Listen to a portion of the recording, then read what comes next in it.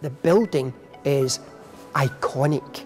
It is a real statement building. It's the first public building com commissioned from uh, Zaha Hadid to open and it itself will attract international tourists to the city of Glasgow. Tourism is a major part of our increasingly diversified economy.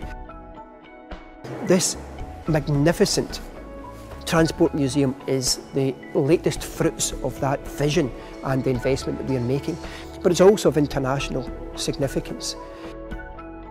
What's going to be special about this museum is the whole range of transport that we have on display. Things our visitors really wanted to do at the old museum but was difficult to provide them was access onto our trams and up to our locomotives. Um, we've been able to build platforms which provide access to all the locomotives and disabled access as well, so the small lifts. It is free. The collection which is in here is of international standard. It's not only greatly loved, but it is of great significance. So it's high quality collection within here. For example, we have locomotives and a hanging velodrome and a wall of old cars. there's so much here. People will come here because it's on the River Clyde. It's in a beautiful location, because it is a magnificent building. And we have an unparalleled collection of model ships in Glasgow's collection which will be on display. And we also have the Glenlee outside the Riverside Museum which will add to the overall attraction of this area.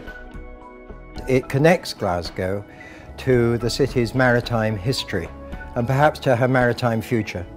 This was one of the great maritime cities of the world. This ship was built on the Clyde, so it's very important in that way.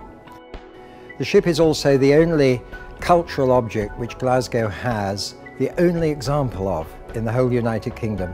There's only one of these big ships in the United Kingdom and we've got her. The move to Riverside is very important for the tall ship. It puts the ship alongside the Museum of Transport, which tells the whole story of transport in Glasgow, and the Glenlee is very much part of that story.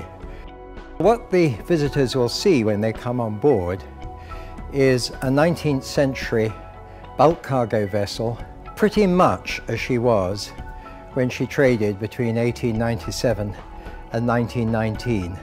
You can see what it was like to work these ships. The wind is blowing 50 knots. The ship is rolling through 60 degrees. There's water crashing across the deck. And uh, then you can come down to the cargo cinema and see actual footage of actual ships sailing in such conditions. Uh, it's something which sticks in the mind for long afterwards the recreation of old streetscapes within Glasgow, which is absolutely fascinating. And you can go into the shops, the old cafes and pawn shops and bars, you know, so it's, it's very interactive, as is an awful lot of the collection which is here. The museum's going to open on the 21st of June at 10 o'clock in the morning and we'll expect you all there. It is an example of Glasgow having a vision for the future and this magnificent building with this world-class collection is the latest example of that.